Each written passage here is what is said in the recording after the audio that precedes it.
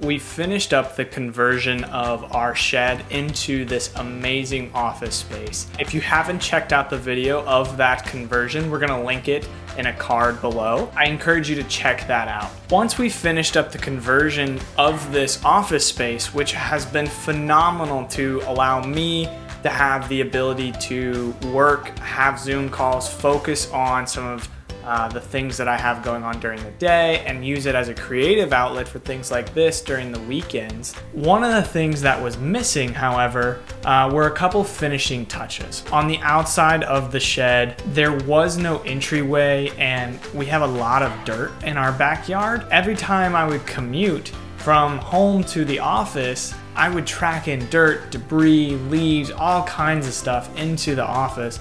So one of the things we decided to do was add a deck.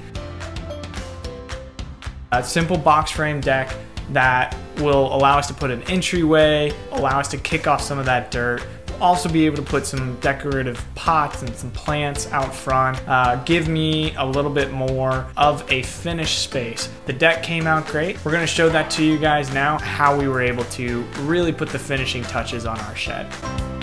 This is a simple 12 foot by 4 foot frame. We did supports every 3 feet. If I were to do this project again, I would make those a little closer together and add a fourth support.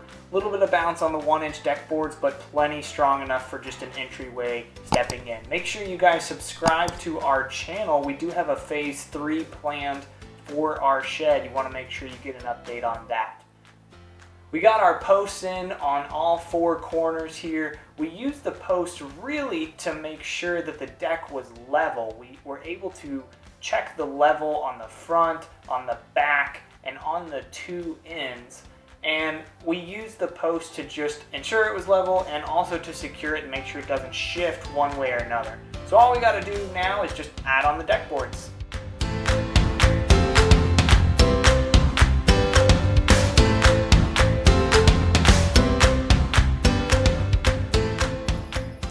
All right, so we finished the deck. Pretty simple box frame deck with just the one inch deck boards on top. But this is gonna be super helpful, especially with the amount of dirt that I have in my lawn right now.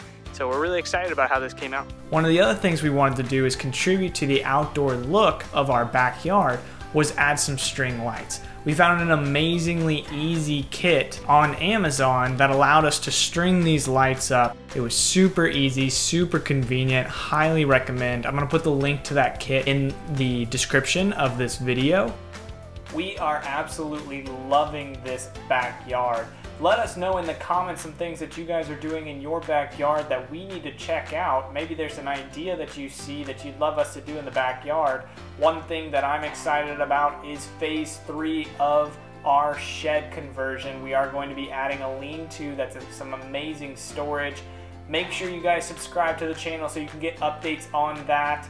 And as always, thanks for watching.